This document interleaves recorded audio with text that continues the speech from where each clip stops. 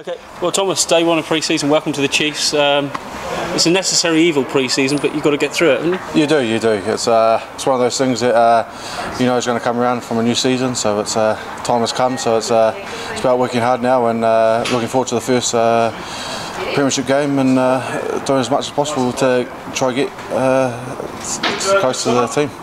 Devon Sunshine out. It's uh, always nice, but probably a bit brutal to be running around in, isn't it? Uh, no, it's nice being outside. You know, you got you got to embrace it, but it's. Uh, it's a lovely place to be, a lovely part of the world, and uh, everyone I talk to always said it's a great place, a great place to come and live. So, and uh, it's definitely living up to it with the weather as well. I know when we spoke in the summer, when you said you were coming to us, you had real excitement about coming to the Chiefs. It was a new challenge for you. Uh, like I say, day one of it. Uh, what what are you expecting? Uh, it's probably going to get a lot harder. You know, we are just out there playing some uh, small-sided games, and it's just enjoyable to run around for all the young kids and just seeing how much school and everything that's going on here and what they're trying to build and it's something that I'm really looking forward to, and hopefully I can add a little bit more to it as well. Obviously, you played at the very top end with England, and that you've got a, a huge bunch of youngsters coming through. You just alluded to there. There's a real crop of talent down here. Oh, definitely. Uh, I think it's credit to all the coaches and stuff and all the uh, schoolwork they do down here. It's just about um, making sure that we make the right decisions in uh, those pressure situations when they do arise this year. And if they if they have to throw, if, uh, get a chance, they have to take it with both hands, and that goes to everyone. Whoever puts a shirt on has to go out and do the job that uh, the, the coaches want us to do. You've come up against the Chiefs in the past. You know all about the sort of game they play and that. What are you expecting to bring yourself into into the Chiefs makeup?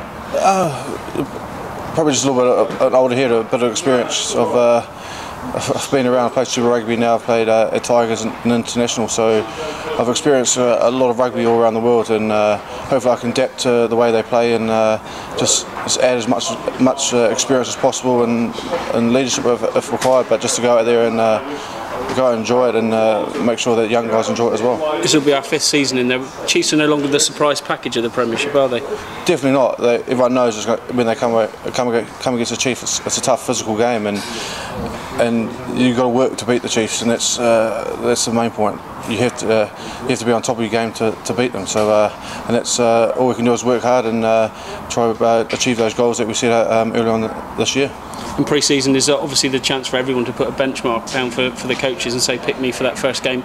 It's the same for everyone, isn't it? Oh, definitely. It's you have to turn up at pre-season. You have to put your best foot forward. Uh, whoever does that is going to get opportunities. So it's just about uh, working hard and uh, making sure myself being new to the team have to do probably a lot more homework just to get up to speed and make sure I know everything uh, to give yourself a best shot.